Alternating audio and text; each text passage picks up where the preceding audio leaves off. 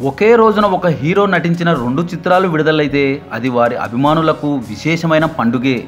అలాగే ఒకే హీరోయిన్ రెండు సినిమాల్లో నటించి ఆ రెండు చిత్రాలు ఒకే రోజున విడుదలైన సందర్భాలు ఉన్నాయి.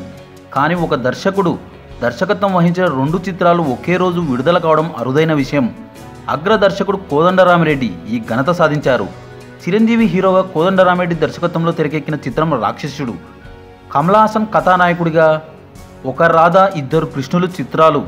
ఒకే రోజు అంటే పంతొమ్మిది వందల ఎనభై ఆరు అక్టోబర్ రెండున విడుదలయ్యాయి. ఈ రెండు సినిమాలు ప్రేక్షకులని అలరించాయి. మరో విశేషం ఏమిటంటే ఈ రెండు చిత్రాలు ఎండమూరి వీరేంద్రనాథ్ రాసిన నవలల ఆధారంగానే రూపొందించారు. అంతేకాదు ఈ రెండు చిత్రాలకు ఇళయరాజా సంగీతం అందించడం అప్పట్లో ఒక సంచలనం. అదేవిధంగా స్టార్ హీరో బాలకృష్ణ కెరియర్లోనూ ఇలాంటి అరుదైన ఓ రికార్డు నమోదైంది. ఆయన హీరోగా నటించిన బంగారు బుల్లోడు నిప్పురవ సినిమాలు.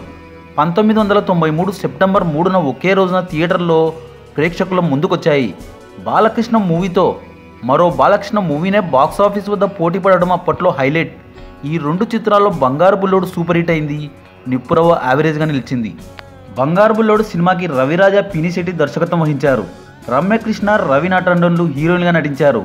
ట్రాంగులర్ లవ్ స్టోరీగా వచ్చిన ఈ చిత్రం ఫ్యామిలీ హిట్గా నిలిచింది.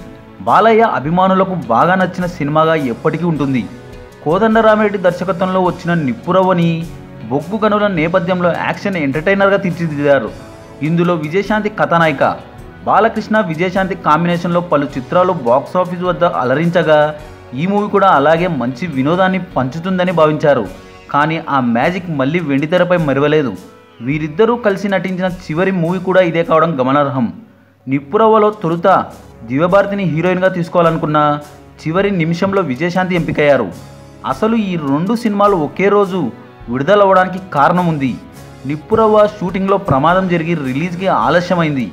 గనుల నేపథ్యంలో సన్నివేశాలు తీస్తుండగా ప్రమాదం జరిగింది. బాలయ్య బాబుకి కూడా యాక్షన్ సీన్లో కొన్ని గాయాలయ్యాయి. కొంతకాలం షూటింగ్కి బ్రేక్ పడింది. బాలయ్య బాబు ఎంతో శ్రమించి తీసిన సినిమా ఇది. అలా ఆలస్యం అవ్వడంతో బంగారు బుల్లోడు నిప్పురవ్వ ఒకే రోజు రిలీజ్ అయ్యాయి మరో ఇంట్రెస్టింగ్ టాపిక్తో మళ్ళీ కలుద్దాం. ఈ వీడియో కనుక మీకు నచ్చినట్లయితే లైక్ షేర్ కమెంట్ చేయండి. సబ్స్క్రైబ్ చేయడం మర్చిపోకండి.